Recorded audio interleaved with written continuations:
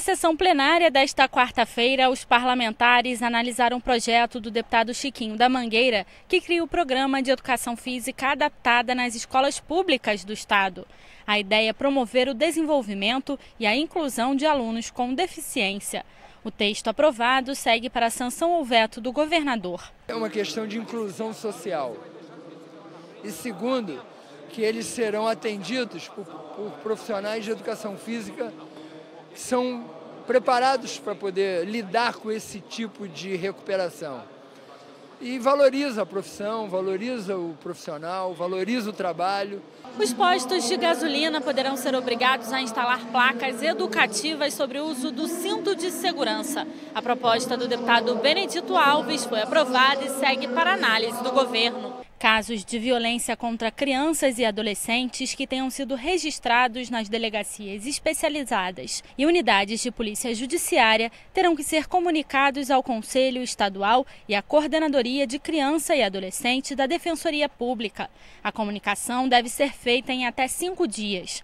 A matéria da deputada Marta Rocha foi aprovada em segunda discussão e pode virar lei. Foi para atender uma demanda da própria Defensoria Pública de receber a cópia do registro de ocorrência, porque nesse sentido a Defensoria Pública vai poder acompanhar judicialmente o resultado daquela investigação e também vai poder postular uma série de medidas protetivas que estão fora do âmbito do direito penal, mas no direito civil, no pato poder, na assistência social, para atender cada vez mais a criança vítima. Deputado Flávio Bolsonaro quer criar o programa Busca Ativa para que a área médica da PM identifique os pacientes policiais que têm indicação imediata de processo de reforma.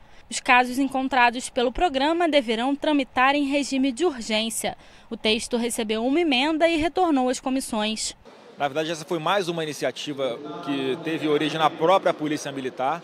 E o intuito é o seguinte: um policial militar que tenha sido vitimado aí, por exemplo, em serviço, e ele já notadamente não vai mais ter condições de permanecer na ativa, ou seja, ele vai ter que ser reformado.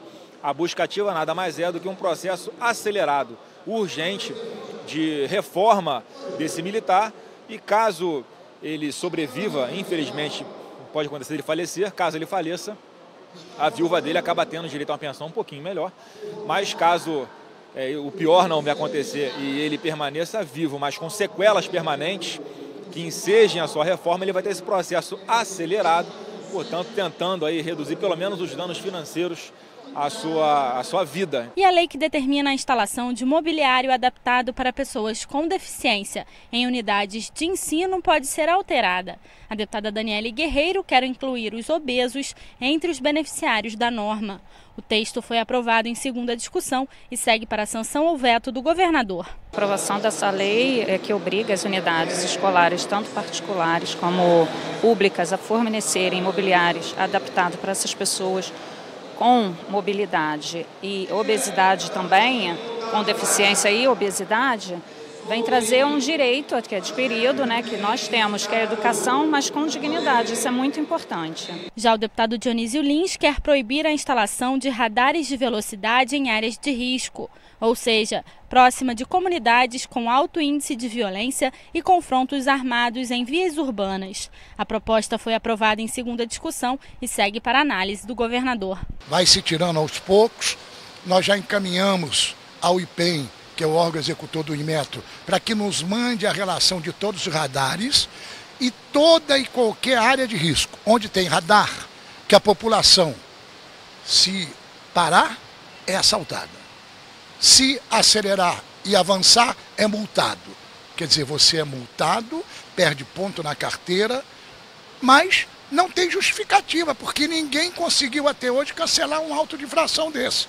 Então a nossa lei será proibindo e determinando a retirada dos pardais nas áreas de risco no âmbito do Estado do Rio de Janeiro.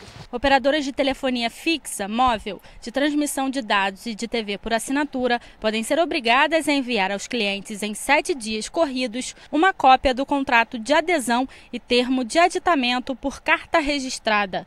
O texto dos deputados Aqueu Teixeira, Gilberto Palmares e Luiz Martins recebeu duas emendas e volta a ser analisado pelas comissões. Esse projeto ele foi apresentado porque muita gente, mas muita gente mesmo reclama que às vezes vai numa concessionária de telecomunicações, vai numa empresa de TV por assinatura, tem aquele contrato enorme que não dá para a pessoa ali na hora ler e às vezes nem recebe.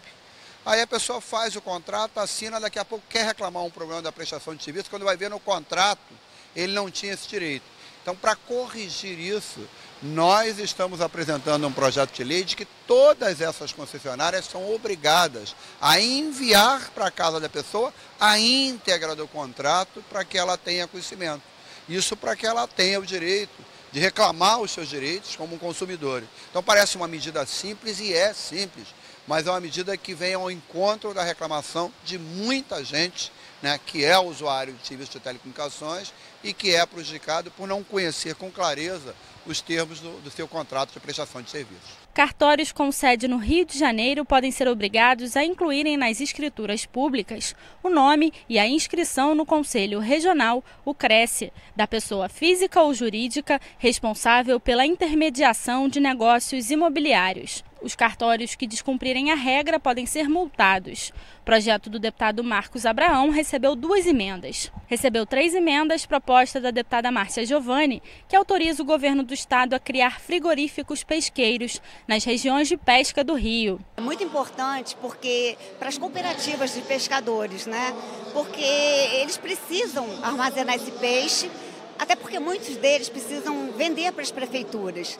E essa é uma exigência para que eles possam vender para as escolas e eles armazenarem esses pescados. Bares, restaurantes e hotéis do Rio que oferecerem bebidas destiladas aos clientes deverão ter no cardápio pelo menos quatro marcas de cachaças produzidas no estado. A proposta dos deputados Jorge Pisciani, Paulo Ramos, Luiz Martins, Luiz Paulo, doutor Julianelli, Eleomar Coelho e do ex-deputado doutor Sadinoel foi aprovada em primeira discussão. Você vai num restaurante e você recebe uma carta de vinhos. Né?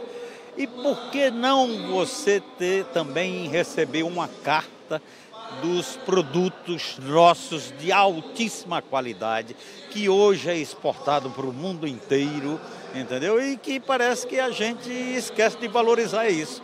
E uma das formas de valorizar é exatamente cada restaurante ter a carta, pelo menos no mínimo quatro eh, marcas de cachaças daquelas de ótima qualidade presos provisórios ou condenados sob guarda do Estado que tenham doenças graves ou necessitem de tratamento especial, intervenção cirúrgica ou hospitalização devem ser admitidos em qualquer formação penitenciária qualificada para o tratamento e terão segurança máxima no período. Qualquer transferência de preso de unidade prisional para tratamento deve ser acompanhada de laudo médico que demonstre a necessidade. O projeto também determina que o Estado coloque em funcionamento o hospital penitenciário para atender a população carcerária. O texto dos deputados Lucinha, Luiz Paulo e Luiz Martins recebeu três emendas e retornou às comissões. Hoje, a população ela está à mercê nos hospitais de emergência e de urgência, está do lado dele um traficante, né? uma pessoa que é do sistema prisional que está recebendo atendimento do lado de uma pessoa de bem que está ali também no hospital precisando de atendimento. Esse projeto, ele prevê que o hospital que hoje existe no complexo penitenciário de Bangu, ele venha receber todos os, os presos do sistema prisional. E qualquer tipo de atendimento tem que ser feito nesse hospital, vai ser um hospital especializado, tá certo? Só para poder atender as pessoas do sistema prisional. Porque eu me recordo que ano passado aconteceu um episódio muito ruim, que foi a, quando tentaram resgatar aquele narcotraficante, o tal do Fat Family, e aí teve uma pessoa que morreu, mais duas que ficaram feridas, e foi um pânico total, não só dos funcionários, como também das pessoas que estavam lá acompanhando seus pacientes. O deputado Conte Bittencourt lamentou os reflexos nas universidades estaduais da execução orçamentária na educação. A UERJ tem 60 anos, é a quinta mais importante universidade do país. A UENF, no norte do estado, foi indutora de desenvolvimento em toda aquela região. Então você tem aí um investimento acumulado do Estado de bilhões e bilhões de reais, que não podem se perder em função dessa crise fiscal que o Estado atravessa. A deputada Marta Rocha falou sobre a atuação da Polícia Civil para coibir os crimes ligados ao jogo virtual Baleia Azul. Ela também fez um apelo para que os pais estejam atentos ao comportamento dos adolescentes. É preciso ter atenção para o seu filho. É preciso saber quais são os locais por onde o seu filho navega na rede de informática. É preciso observar o comportamento dos seus filhos. É, a polícia já identificou que logo que se inicia esse jogo, os jovens passam por um processo de reclusão por um processo de, de intimidação.